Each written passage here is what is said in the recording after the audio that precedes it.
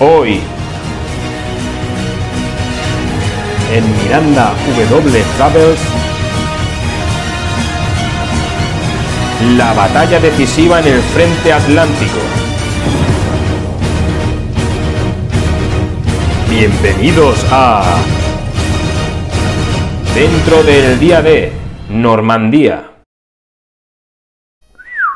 Vaya intro. Bueno, os explico rápidamente antes de empezar la ruta que hice yo por las playas del desembarco del día D.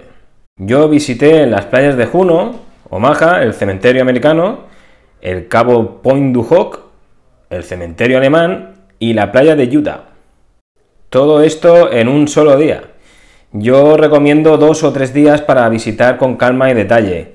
Pero bueno, si eres como yo y quieres verlo en un solo día, ya has visto, también se puede. Ahora bien, levántate a las 6 de la mañana, amigo. Y os he marcado otros puntos de interés como la playa de Sword y Gold y el pueblo de Saint-Marie-du-Mont, que es donde aterrizaron los famosísimos paracaidistas de la 101 aerotransportada americana. Y bueno, eh, empezamos ya con las imágenes, ¿no? ¿Qué es lo que queréis? ¡Vamos! Sí, estoy en Juno Beach.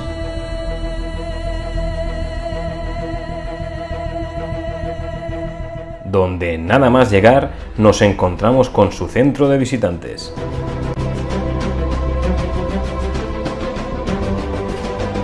Y todas estas numerosas placas que dan homenaje a las tropas canadienses caídas en esta playa.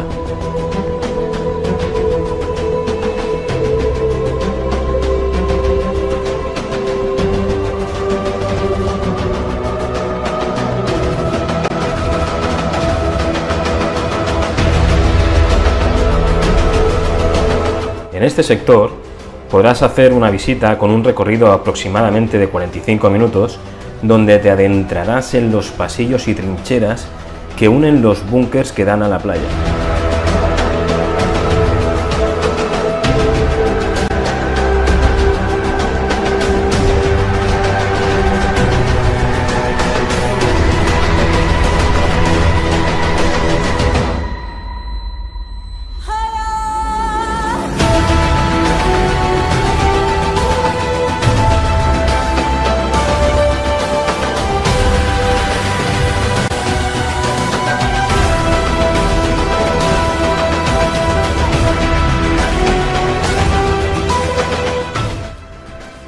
Playa, que obviamente ha cambiado mucho.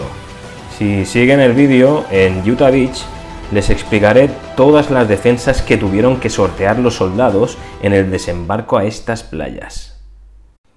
Y de un sitio a otro, pues ver los campos y granjas de Normandía que son muy bonitos. Y ya hemos llegado a Omaha Beach, al Museo Memorial donde nos explican al detalle todos los entresijos del desembarco y la Segunda Guerra Mundial.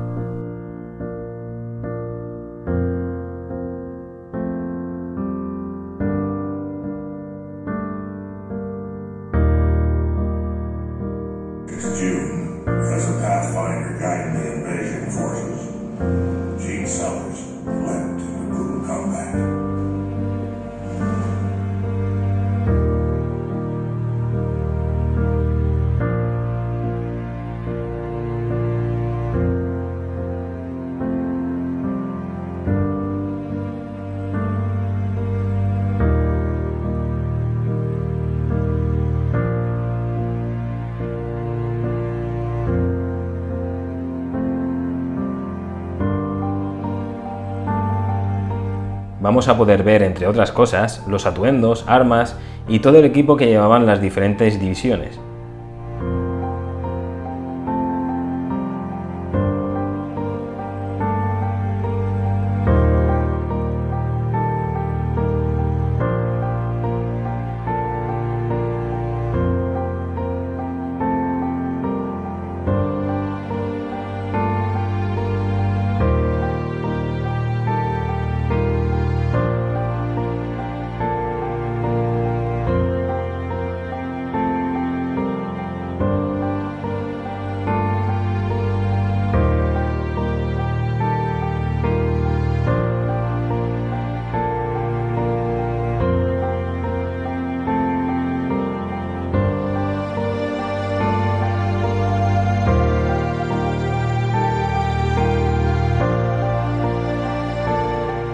Al salir del museo nos encontramos con el cementerio de los soldados americanos.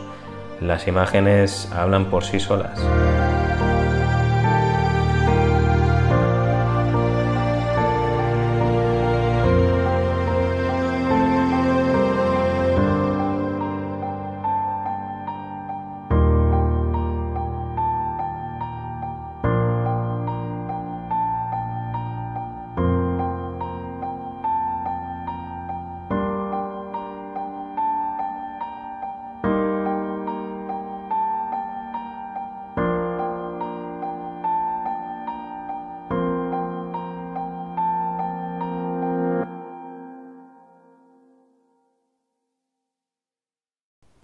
Y bueno, he bajado a la playa para sentir más de cerca todo y tocar esa arena por la que murieron tantos y tantos soldados.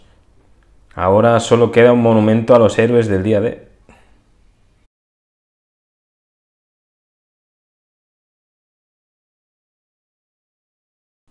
Y de un sitio a otro eh, te puedes encontrar algún tanque por la carretera.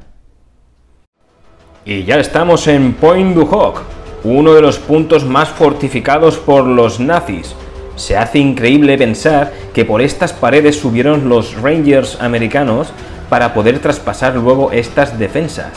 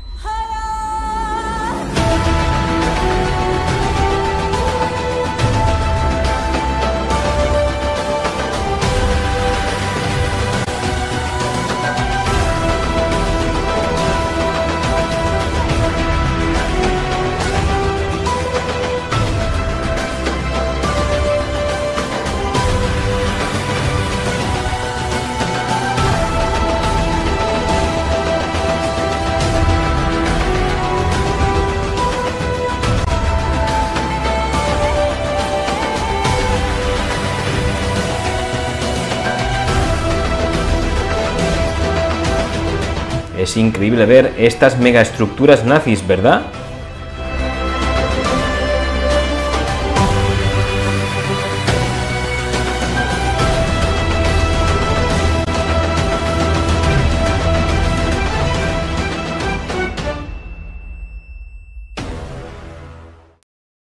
Más campos y granjas para llegar al cementerio alemán.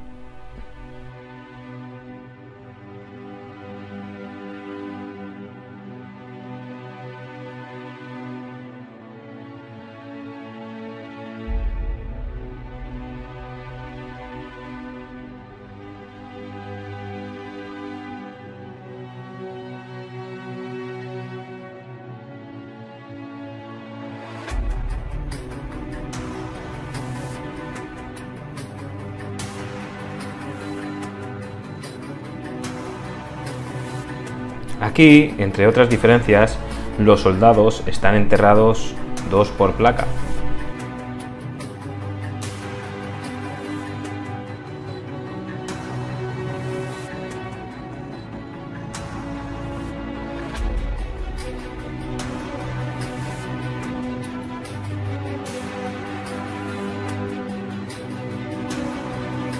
¿Y se han dado cuenta de otra diferencia?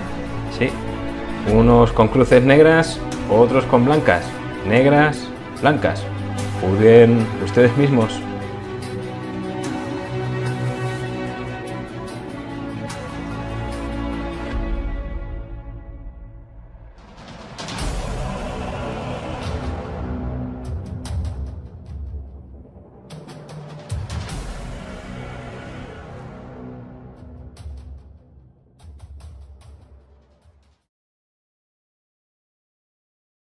Y me encuentro con estas vacas antes de llegar a Utah Beach.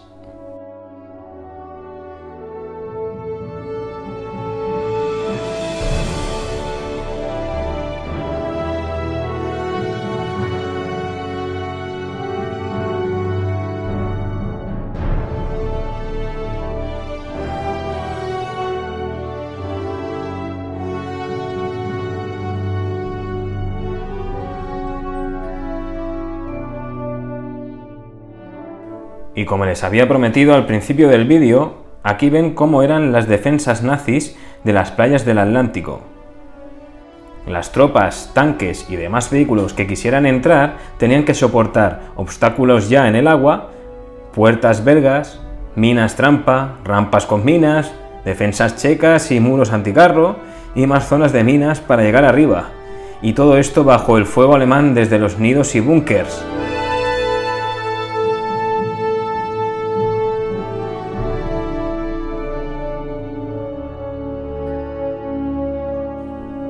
Bueno, yo he salido en la imagen, pero espero no tener que usar nunca uno de estos. Yo me despido ya del día D y te recomiendo que no te pierdas el resto de la bonita Normandía. Adiós, Travel Fans.